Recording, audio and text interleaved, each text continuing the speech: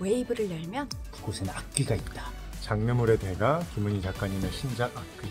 우리 웨이브에서 만나요. Just Just dive. dive 웨이브.